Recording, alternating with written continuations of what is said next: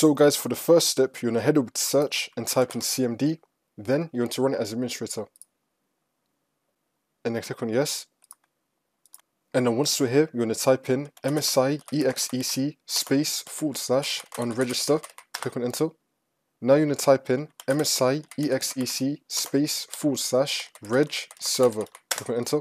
And now for the next step, you want to head over to search and type in services. Click on it. And then once you're on this, you want to click on any service one time and then click on W on your keyboard. Now you're gonna scroll down till you find Windows Installer. Double click on it and then click on Start, which will then make the service status running and then click on OK. Now you want to click on Restart the service.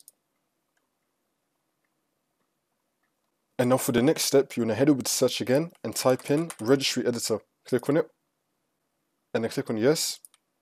And then once you're on this, you can follow everything I'll be doing up here. So first you want to expand HK local machine, and then you want to expand system, and then you want to expand current control set, and now you want to expand control, and now you want to click on the file system folder.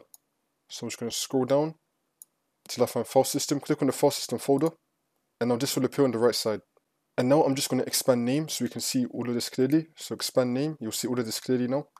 And then once we're here, you want to find NTFS disable 8 dots free creation. Double click on this, change your value data to 0. Make sure that in this value data box you have the number 0 and then click on OK. Now you just want to restart your computer and then the problem should be fixed.